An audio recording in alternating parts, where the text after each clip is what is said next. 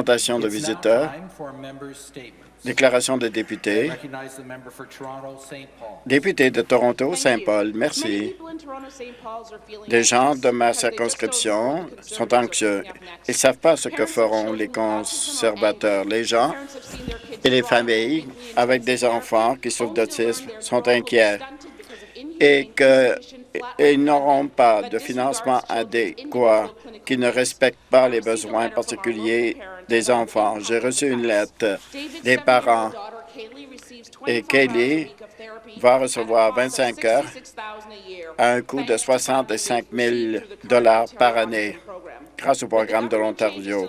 Avec les modifications apportées du gouvernement, il n'aura pas 66 000 pour sa fille et les modifications apportées au programme. Les parents n'auront pas accès à ces services. Ils maintenant pensent à quitter la province pour trouver de bons programmes d'aide à leurs enfants. David est inquiet et que les, nouveaux, les nouvelles règles seront un désastre pour ses enfants. Et la ministre doit résigner, déposer sa démission. Ce n'est pas la façon de faire les choses. Laisser abandonner les parents des coupes euh, au secondaire et à la fin, à la prématernelle à 4 ans, en passant par les coupes. Qu'est-ce que le gouvernement coupera par la suite? la population mérite davantage. Merci.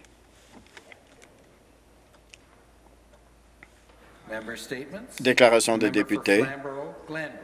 Flamborough, Glenbrook. Vendredi dernier, j'ai participé à une réunion de l'aéroport.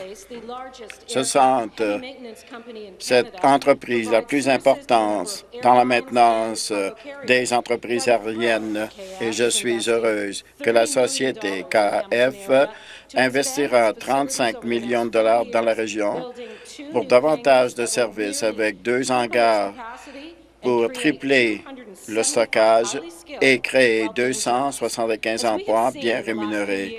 On l'a vu au cours des dernières années, l'aéroport international d'Hamilton a pris de, de l'expansion avec une expansion de son trafic aérien et de cargo. Il y a plus de 3 000 emplois à l'aéroport. C'est l'un des employeurs les plus importants de la région. Le premier ministre a choisi de visiter l'aéroport lors d'une première visite, il a rencontré les acteurs du milieu et les administrateurs. Cela est important pour la région. Grâce à un programme de techniciens avec le Collège Mohawk, avec l'expérience pratique et la protection contre les dommages et de restructure et de maintenance. Et cela permettra aux, aux jeunes de pratiquer leurs habiletés. Une fois de plus, je voudrais remercier KF Aerospace dans l'élargissement de son usine en créant de milliers d'emplois pour prouver que l'Ontario est véritablement ouvert aux affaires et crée de l'emploi.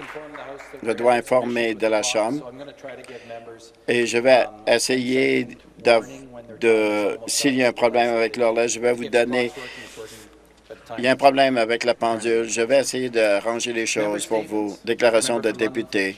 London Fancher. Merci, Monsieur le Président. La semaine dernière, j'ai eu le plaisir de participer à une réunion publique par des organismes communautaires et il y a eu un débat animé et les gens sont inquiets sur l'avenir de l'Ontario. Ils sont préoccupés concernant les politiques, les projets de loi, la réglementation mis de l'avant par le gouvernement. Les gens respectaient qu'il y aurait différents points de vue, peut-être idéologiques, et ils n'ont pas pu respecter, c'est-à-dire la décision du gouvernement sans consultation de la part du gouvernement et doivent prendre des mesures pour lutter contre les mesures prises sans la consultation de la population. Le message est clair. Ils veulent, la population veut se faire entendre. Transparence de la part du gouvernement et l'héritage du gouvernement impose l'austérité sur les plus vulnérables. Il y a des manifestations contre le financement, les coupes au financement d'autisme. Ils veulent protéger les associations étudiantes également. Nous avons reçu des lettres de la part des personnes concernant la privatisation en santé. Je vais transmettre cette demande au nom de ma collectivité. Les Ontariens méritent mieux que ce qu'ils ont reçu actuellement et cela commence avec le travail ensemble avec tous les députés de cette Chambre dans l'intérêt des Ontariens. Déclaration de député. Député de Whitby, merci. Je suis heureux de prendre la parole aujourd'hui concernant le Centre des compétences euh, qui est non seulement une source de fierté dans ma région, mais plus important encore, comme une balise importante d'inclusion.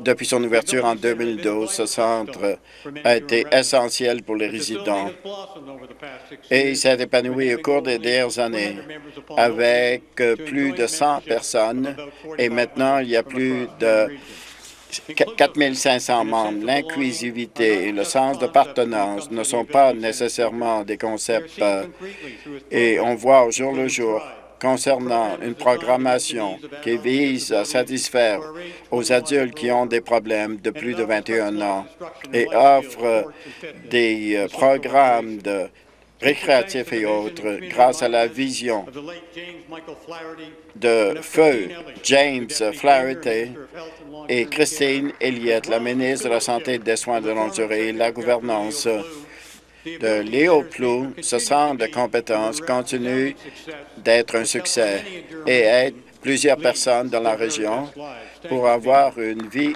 intéressante et prospère. Merci. Député de Kingston et des îles. Merci, Monsieur le Président. Je voudrais parler. Mon alma terre, c'est l'association étudiante la plus ancienne au Canada et c'est une association plus ancienne que le pays. Un grand nombre d'étudiants utilisent ces services de cet alma mater.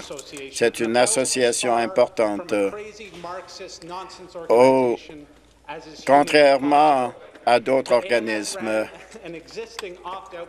Ils ont un programme qui sont fait l'objet d'un audit par KPMG et publient un rapport public.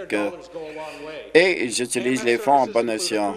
Ça comprend une banque alimentaire, une boutique, un pub et un centre de copie un centre d'appui aux étudiants, un, programme d'orientation pour nommer quelques-uns seulement.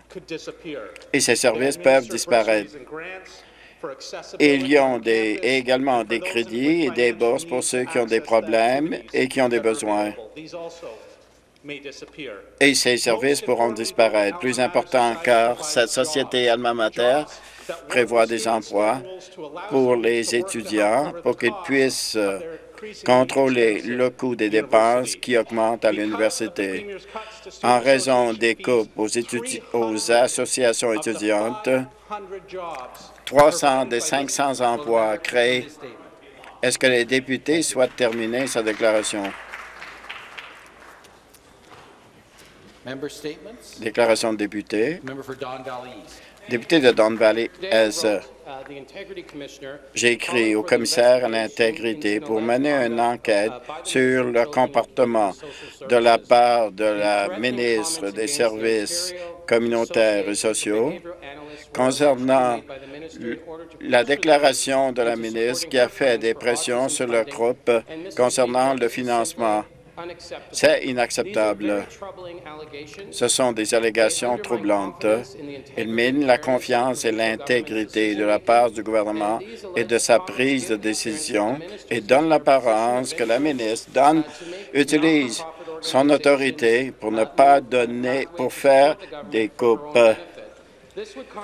Et cela contrevient la loi sur l'intégrité des députés et ce comportement est inacceptable et qu'il faut avoir une enquête pour que le public continue d'avoir confiance dans le Conseil des ministres. Les, ménages méritent mieux et tous les élèves devraient avoir un avenir prospère pour nous assurer de régler ce problème.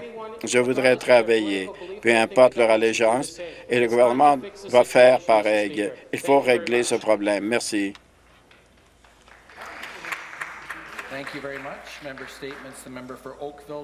Député de Oakville Il y a très peu de choses qui sont aussi importantes que l'éducation. Le gouvernement améliore l'éducation pour les familles et les élèves dans ma circonscription. Notre gouvernement s'engage envers ma collectivité lorsque la ministre de l'Éducation, Linda Thompson, a accepté le financement d'une nouvelle école élémentaire. Les parents, les éducateurs, les conseillers et autres travaillent depuis plusieurs années pour financer cette école nécessaire. Je voudrais remercier la ministre d'avoir écouté de tenir compte des besoins de la collectivité. Cette école de 22 millions au niveau élémentaire sera située au coin des rues Dundas, pourra accueillir plus, euh, plus de 600 personnes et des services de garde. Nous espérons avoir une ouverture de l'école pour que les enfants puissent euh, apprendre dans un milieu non saturé. Nous avons une collectivité motivée et nous allons continuer à travailler avec tous les acteurs du milieu pour s'assurer que les, que les besoins futurs sont satisfaits. C'est un investissement essentiel dans la collectivité pour s'assurer le succès des élèves. Merci. Déclaration de députés et députés de Waterloo. Merci. Le 6 janvier, le 16 février, le gouvernement a annoncé les modifications au programme d'OTIS et toutes les familles cherchent des réponses. Comment ce programme impactera l'avenir de leurs enfants? Et la langue du gouvernement concernant l'élimination de la liste d'attente concernant le financement. Ils ont dit que c'était la motivation. On a entendu la qualité et pas seulement et non l'équité. Et les parents ont dit que le plan conservateur, une solution universelle, sera un échec pour l'ensemble des élèves. En fait, des milliers de familles. Ils ont perdu le financement du jour au lendemain. Si vous revoyez le passé, il est clair que l'ancien gouvernement libéral n'a pas augmenté le financement en fonction des besoins.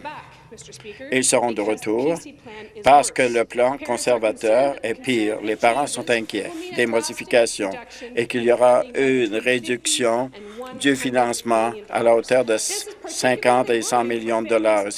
Et les familles sont inquiètes pour les personnes qui gagnent 55 000 dollars par année Étant donné le financement de ces groupes en fonction de l'âge, les parents pourront recevoir uniquement 5 000 par année. Les parents sont légitimes dans leur interrogation. Ils méritent une réponse et de l'équité pour leurs enfants en Ontario. Déclaration des députés, Saint-Côme-Nord. Merci, M. le Président. Au début de décembre, le gouvernement a annoncé qu'ils allaient de l'avant concernant des lits de soins palliatifs dans ma circonscription. Excellente nouvelle pour la région parce que plusieurs personnes voulaient avoir ce financement. Ce centre sera construit et donnera des soins de fin de vie dans ma circonscription. Pour appuyer cette initiative, j'ai participé à plusieurs événements dans ma circonscription il y a quelques semaines. Et il y avait également le, le président et le PDG de l'hôpital mémorial et le maire Mike Paquette ainsi que d'autres bénévoles qui sont venus. Je voudrais reconnaître le travail des jeunes. Victor, qui a, plongé dans le lac gelé. Grâce à nos efforts, nous avons été en mesure de recueillir 6 000 Ce centre donnera des soins de fin de vie pour les gens dans leur vie, pour donner du confort, de la dignité aux patients et d'atténuer les inquiétudes de leurs familles, et parce que ce sont les familles Merci de leur dévouement et je les remercie pour tout le travail qu'ils ont fait pour faire de ce projet une réalité.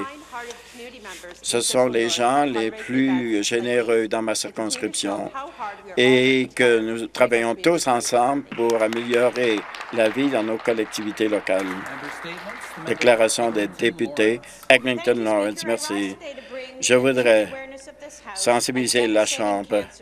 Un cancer dévastateur qui tue 20 000 Canadiens chaque année, davantage que le cancer du sein et autres. Et je parle du cancer pulmonaire. Selon une association du Canada, un homme sur 12 aura ce cancer et un homme sur 13 mourra. Une femme sur 15 aura ce cancer pulmonaire et une femme sur, sur 17 mourra.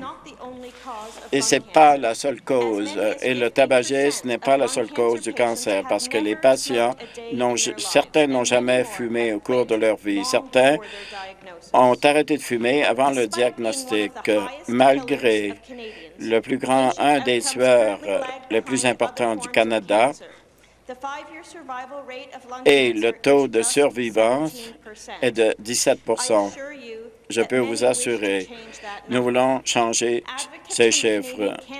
Et les défenseurs de ce réseau seront ici demain pour rencontrer tous les, les partis et ils vont parler de ce, ce cancer pour sensibiliser davantage la population pour traiter et diagnostiquer cette maladie qui commencera avec le petit-déj à 8 heures le matin et j'espère que tous mes collègues seront présents lors de ce petit déjeuner. Merci. C'est la fin des déclarations des députés.